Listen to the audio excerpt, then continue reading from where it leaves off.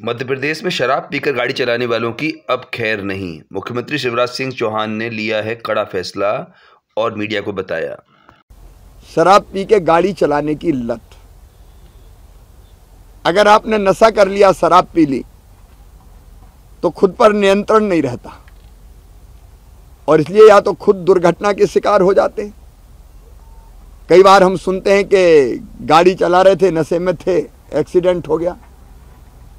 और कई बार दूसरों की ज़िंदगी पर भी खतरा बन जाते हैं। कई बार तो दुर्घटनाएँ भी कुचल के निकल गए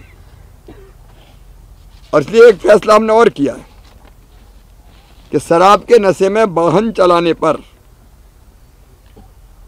पहली बार में छह महीने तक ड्राइविंग लाइसेंस कैंसिल कर दिया जाएगा।